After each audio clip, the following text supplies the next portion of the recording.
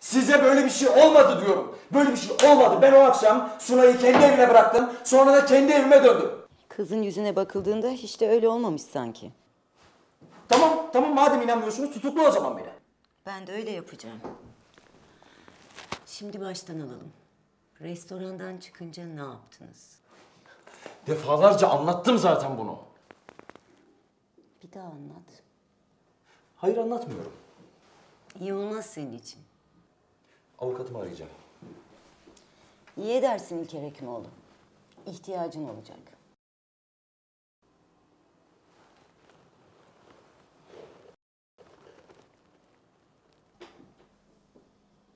Bir avukatın yok mu?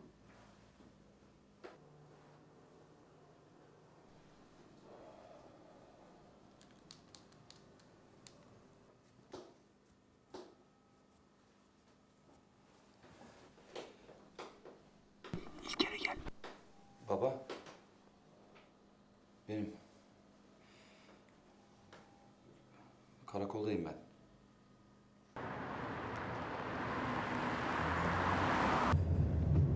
Şimdi bütün testleri yeniden yapacaklar. Onca zaman bekleyeceğiz yine. Daha önceki test sonuçlarını bile alamadık. Onlar isterler. Bir alttan anladıkları yok. Ben oğlumu başka hastaneye götüreceğim. Karnım çok ağrıyor. Yanıyor yine. Tamam oğlum ben şimdi hastaneye yetiştireceğim seni.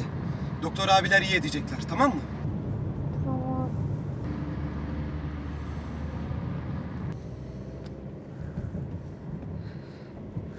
Amirim saygılar. Uğrayacağım abi. Eyvallah.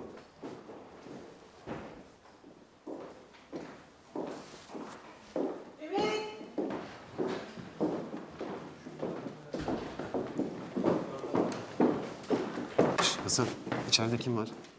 Hiçbiri işte. Biri. Komiser hanım beş yıldır ben sorguya girdiğini görmedim. Belli ki içerideki biri falan değil. Başımı derde sokma beni. Hasan, iyi o zaman bari kim, niye gelmiş onu söyle. Tecavüz bedar. Benden duymuş olma. Kız burada mı?